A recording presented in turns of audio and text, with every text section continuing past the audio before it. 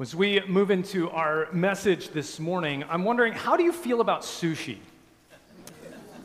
You know, I love it. I see some thumbs up. I know it can be a polarizing topic, but I, I remember the first time I had sushi. It was back in about fourth or fifth grade. It was with my grandmother, who we call Pama.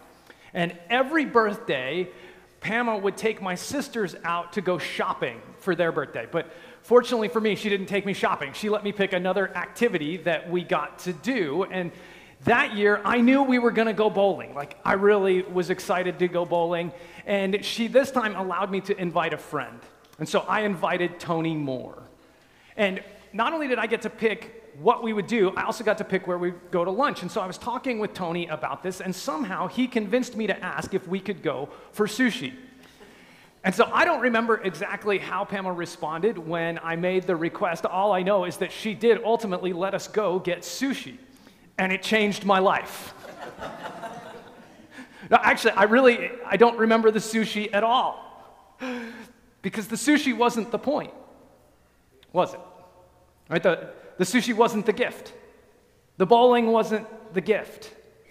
Right? I didn't fully understand the gift at the time, but the gift was the time with Pama herself. Sometimes we can misunderstand gifts. We can misunderstand their purpose, their real meaning, the real function in our lives. And I think this is so important this morning as we're getting into the topic of spiritual gifts. We want to keep this in mind. This is the next message in our series that we've been in for a couple weeks now called Go and Serve Together. That over the course of these weeks, we're leaning into Jesus' commission for the church. That particularly was captured in John chapter 20, verse 21, where Jesus told his disciples, As the Father has sent me, so also I am sending you. We are reflecting on how God is ascending God. He sent His word out at creation and made all things. He sent His Son ultimately to come and bring salvation. And He sends us, His church, out to continue the work that Jesus began to bring healing and redemption to all of the broken places in the world where sin has caused devastation and destruction. He's doing this work, restoring all things, and right now it's through the church. And so we're focusing in this series on how God sends us and how he equips us to continue the work that Jesus came and started. And so today, we're looking at how God equips us, particularly with the gifts of the Spirit as we go and serve. And so we're going to look at this through 1 Corinthians chapter 12. If you want, you can follow along on the screen. But let's listen for God's word speaking to us this morning. Now, about the gifts of the Spirit, brothers and sisters, I do not want you to be uninformed. You know that when you were pagans, somehow or other you were influenced and led astray to mute idols. Therefore, I want you to know that no one who is speaking by the Spirit of God says, Jesus be cursed. And no one can say Jesus is Lord except by the Holy Spirit. There are different kinds of gifts, but the same Spirit distributes them. There are different kinds of service, but the same Lord. There are different kinds of working, but in all of them and in every one, it is the same God at work. Now, to each one, the manifestation of the Spirit is given for the common good. To one, there is given through the Spirit a message of wisdom, to another, a message of knowledge by means of the same Spirit, to another, faith by the same Spirit, to another, gifts of healing by that one Spirit, to another, miraculous powers, to another, prophecy, to another, distinguishing between spirits, to another, speaking in different kinds of tongues, and still and to still another the interpretation of tongues. All these are the work of one and the same Spirit, and He distributes them to each one just as He determines. This is the word of the Lord. Thanks, Thanks be to God. And let's pray as we move into this word. Heavenly Father, as we have heard your word read, we invite your Holy Spirit to ultimately be the one to speak to us, to interpret your word, to apply your word to continue to shape us, to make us the people ultimately you've made us and intended us to be. It's in Jesus' name that we pray. Amen. So, when people talk about gifts of the Spirit, this is one of the passages that they commonly refer to. The others you can find in Romans chapter 12 or Ephesians 4 or 1 Peter chapter 4. But as we're thinking about this, what are spiritual gifts? So, what are these gifts of the Spirit?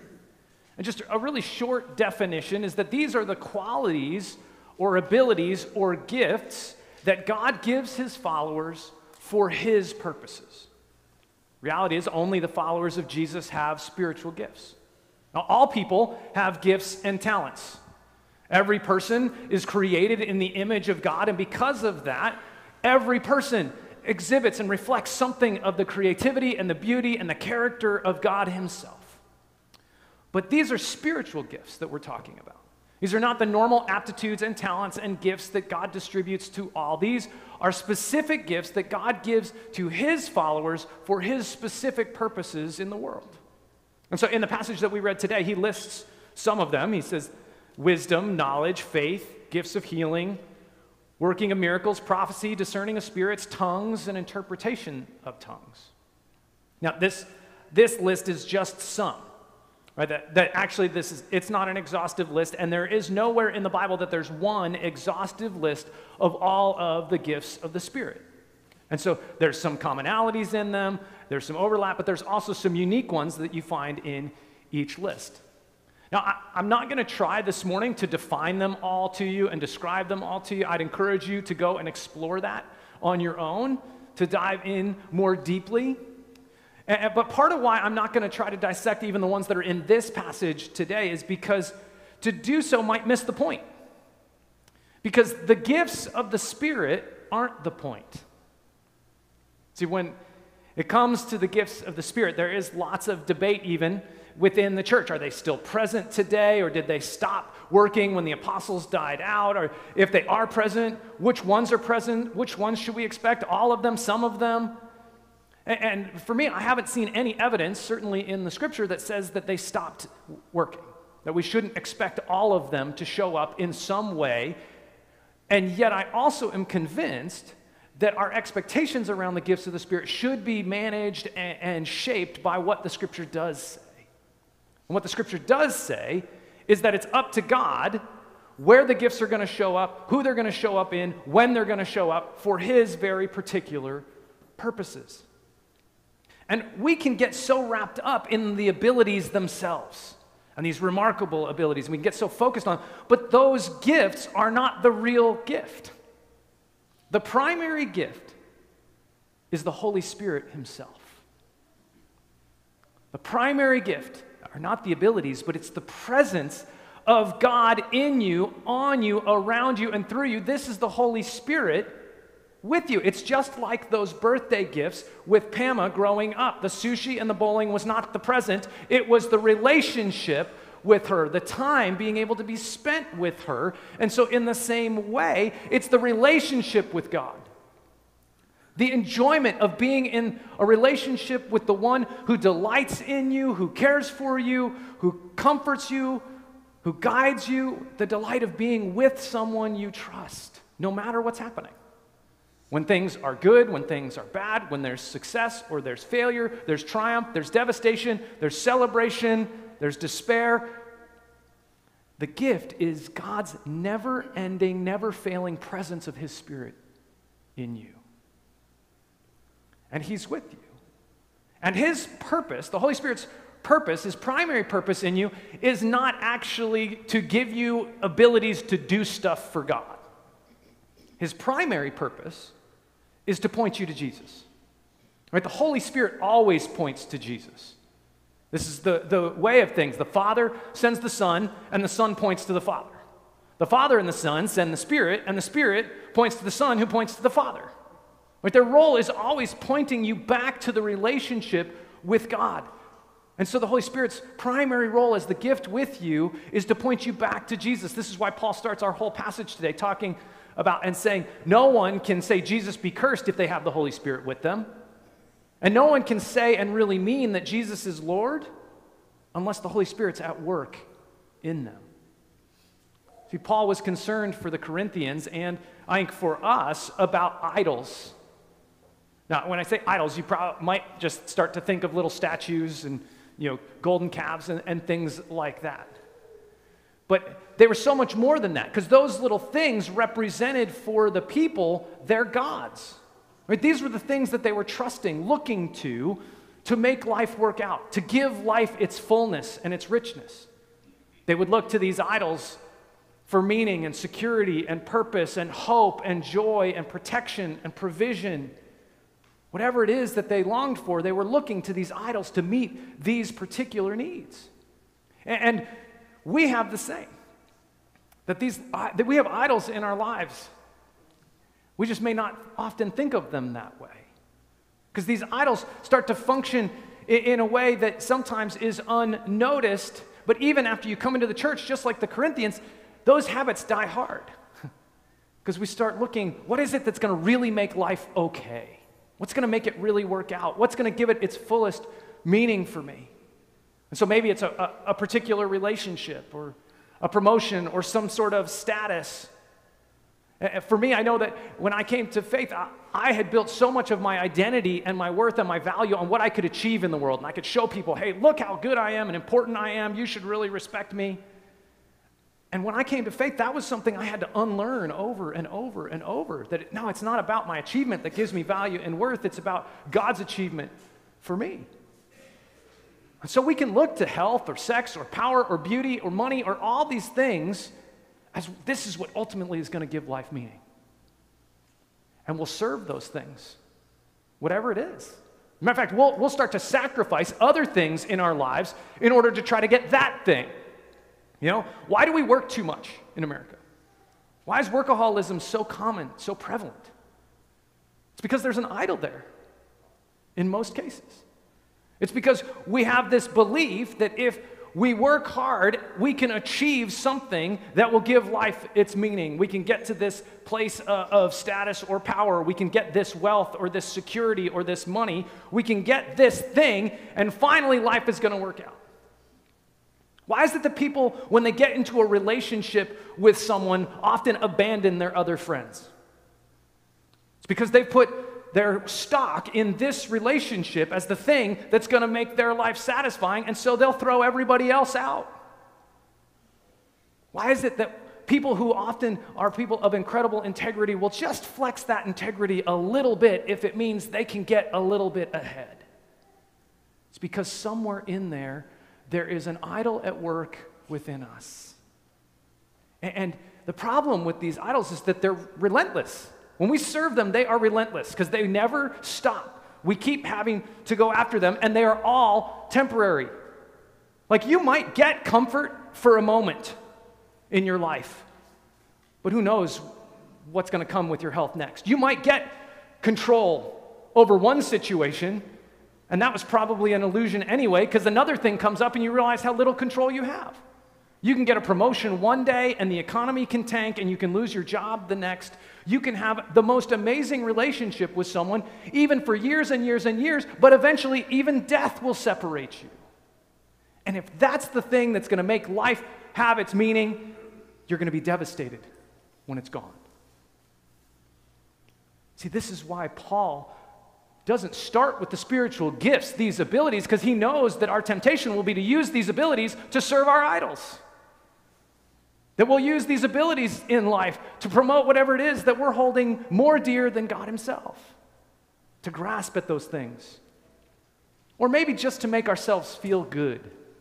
I think the Corinthians likely saw the gifts as a, an end in and of themselves. And they had like this hierarchy of which gifts were the better gifts to have or the more important ones. And it was like, if you had these ones, then man, you were really spiritual.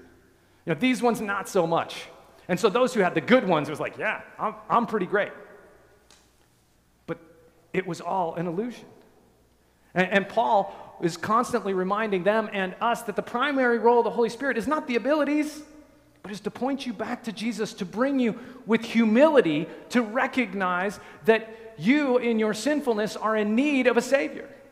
That you can't attain the things in life that you think are going to give you the most satisfaction and meaning that you will never be good enough to be able to tell yourself, to be able to tell the world, to be able to tell God without a shadow of a doubt, yes, I am great and acceptable and lovable. But the nice thing is that Jesus is not a Lord, Paul says, that it demands your sacrifice to be good enough, but instead, He is the Lord that sacrificed Himself to make you good enough. So that's the gift. The Holy Spirit constantly reminding us, calling out the idols in our lives, saying, hey, it's not working for you, and inviting us to turn back, to repent, to turn toward the Lord, who ultimately is the one who can satisfy our need. And only then, when we're reminded of the gospel, of God's lordship, humbled before Him, but also reminded how loved we are, that God delights in you through Jesus Christ, does He turn toward what we typically call the gifts of the Spirit. He actually, in this passage, calls them the manifestations of the Spirit, as opposed to gifts. Right? Rather than calling these gifts, because gifts are something that, like, we possess and we decide what to do with. Manifestations are something really that's kind of happening in us. Manifestations are like an outward, visible, kind of uh, uh, visible sign that proves there's something else going on. Just think about this. If, when you get sick, you, know, you have a virus or an infection inside of you, that you don't necessarily know that immediately, do you? You only actually start to know that you're sick, and it only becomes a problem when the symptoms start to show. You get a fever, you get a rash, you get body aches, you get some other outward, visible sign that shows there's something else present within your body. There's some sort of germ, there's some sort of disease that needs to be addressed. And so manifestations of the Spirit are an outward, visible reality pointing to the Holy Spirit's presence in you. Right? It's showing, it's actually intended, these gifts are intended to show the world more of who God is. It's less about us. It's not about building us up, but it's about demonstrating to the world who He is, making Him known. Which is probably why He decides who gets the gifts and when. Because if we got to decide, we got to look through the gifts and say, you know what? Hmm, I really like healing because that one's really cool. That compassion and serving thing, man, that just sounds yucky. Right? Like we just choose the ones that will make us feel great and powerful and strong, or, or that'll just be more comfortable or more convenient if it's about us. Because it's about Him, He gives the gift in the moment that is appropriate for the moment. And it's His decision and he's going to give it to whomever and whenever he wants.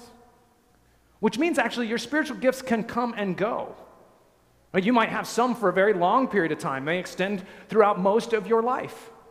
They may come for a short period of time. It may be because one day, along in one encounter with some person, the Holy Spirit wanted to do something in their life and may give you the gift in the moment. And then it may go away. Which is why these manifestations of the Spirit, His presence in you, it's why it's so important to regularly reflect on what is the gift that you have given, entrusted to me now? What are, you, what are you wanting to show today? So even if you have already done this exploration and you're like, man, this is just old news and, and you know, you've already checked out, I just want to invite you to come back. You know, to consider again the gifts that God may want to use in you and through you, because they weren't yours in the first place. They were just on loan as the Holy Spirit's presence in you. I've heard lots of other people say, well, I don't really have any gifts. I don't, I don't really have anything to offer. I'm, I'm not really that talented. I'm not really that spiritual. I'm not a good talker. And here's the good news it's not about you. Right? It's not about you. And, and when we think that way, when we start thinking, oh, I don't have anything to offer, it's because we're trusting that it's up to us to have the gifts to be able to then use. We're really showing that we're trusting in ourselves more than we're trusting in God to give us the gift of His Holy Spirit.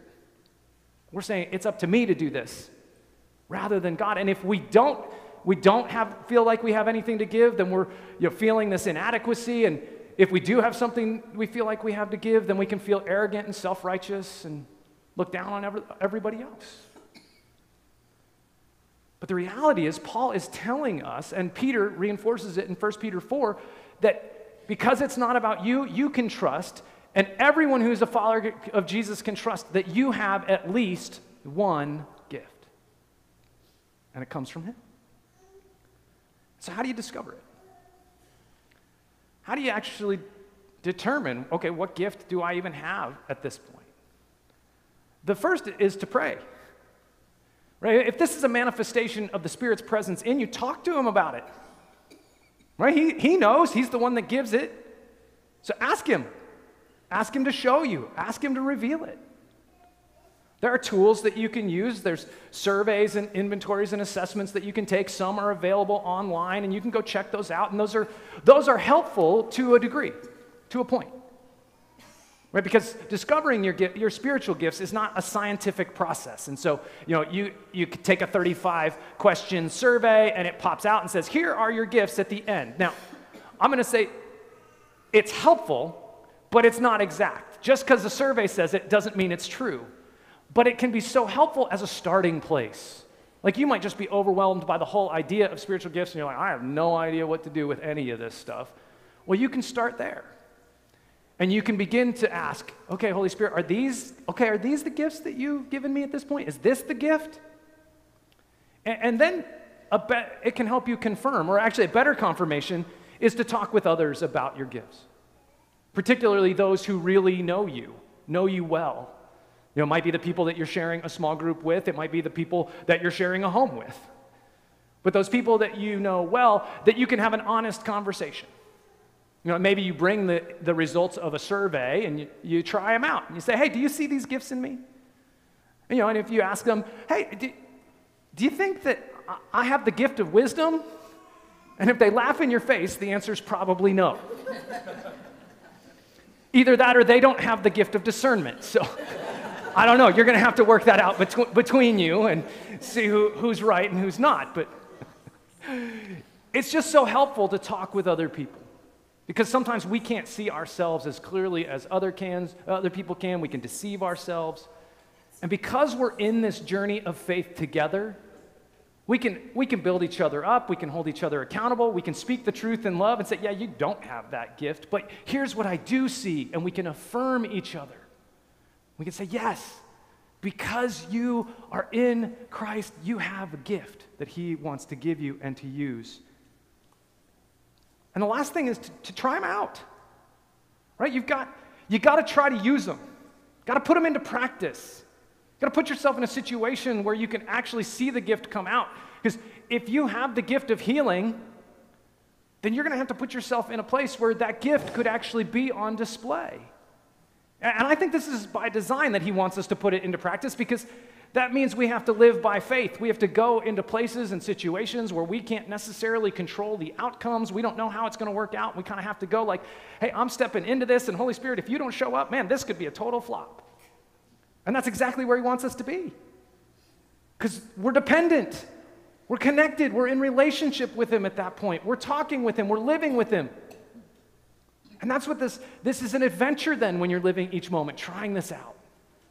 And that's what these go and serve together groups are. It's a big adventure to put ourselves out there and say, Holy Spirit, show up.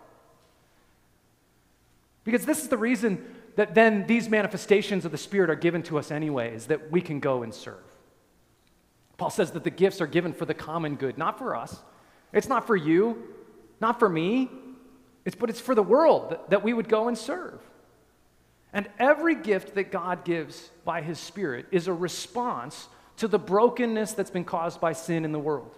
Every gift that you would have is a response. Right? Like, if, just think about this. If somebody has a broken heart, they don't really need somebody with the gift of preaching to come and start yakking at them, do they? No, they need somebody who's going to come alongside them and quietly and compassionately listen to them and hold them. If somebody's hungry and naked, they don't need someone with the gift of prophecy to come and utter words of tr- truth, calling them to faithfulness and telling them of the great mysteries of what God's going to do in the future. And they need somebody with the gift of hospitality or the gift of service who's going to meet them in their tangible need of desperation in the moment. If someone's perpetuating a, a self destructive lifestyle, they don't need someone with the gift of mercy to come and, uh, and say, Oh, they're there, it's going to be okay. They need someone who's going to come with a word of truth and say, hey, this isn't working, pull your head out, and God loves you.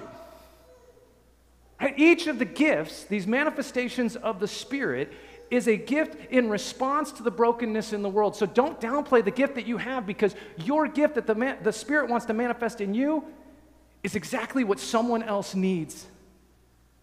And it's up to us just to get into the flow of where Holy Spirit is working and leading us so that we can offer the gift and serve where the need is. And as we serve, man, and as we go, we enjoy the presence of God, His Holy Spirit in us, delighting in Him, honoring Him, and experiencing His delight in us because that primary gift is simply His presence in us and through us. Chariots of Fire is, is a movie that is now very old, but man, it's an incredible movie, an incredible story. It's a true story of, of these British runners in the 1924 Olympics. One is named Eric Liddell, and he's a really devout Christian man. And he also happens to be one of the fastest runners in the world. And his family works in the mission field in China, and his sister Jenny is trying to convince Eric to give up all this running stuff and join the family on the mission field. She thinks that he's put his running ahead of his commitment to God. And so Eric tries over and over again to get her to understand his perspective. And finally, he, he says to her, Okay, I've decided. I decided I'm going back to China. Because, and he tries to continue to explain the missionary service is accepted, and, and she, he can't even get it out. His sister jumps in and interrupts. Oh, Eric, I'm so pleased. But Eric continues. He says, But I've got a lot of running to do. Jenny, you've got to understand. I believe God made me for a purpose for China. He also made me fast. And when I run, I feel his pleasure. To give it up would be to hold him in contempt. You were right. It's not just fun. To win is to honor him. I know this, this story isn't necessarily about spiritual gifts, but it is about what God has given. And as we use, put into practice what he has entrusted to us, we experience the delight and the pleasure of the God who gave you the gift in the first place, and by his Spirit is present with you. And so we go into the world to serve, to delight in Him, to, to enjoy His delight in us. So I want to encourage you discover first the Holy Spirit as His presence in you as you trust in the Lord Jesus. And then explore the gifts, the manifestations that He may have entrusted to you because He's entrusted to you to take them out into the world to bring healing and hope where there is darkness and despair and there is brokenness. You have at least one manifestation of the Spirit to give. Will you offer it back to Him? Let's pray. Heavenly Father, we thank you so much that we don't have to come up with gifts. We don't have to manufacture satisfaction and meaning and purpose and joy and security, but that you give all this as profound gift from you, accomplished by our Lord Jesus Christ, his sacrifice, to show us how loved we are to show us your delight so that we can turn away from the idols and turn back to you. Lord, may we experience your pleasure and delight as we know more and more your Holy Spirit in us. May you give us the eyes to see and understand the manifestations of your Spirit that you want to, to show through us. And show us the ways and the places where we can move toward those who are hurting and broken, and we can offer the hope that comes as a response, your gift to them through us. Or may we go and serve as you have served us. In Jesus' name, amen.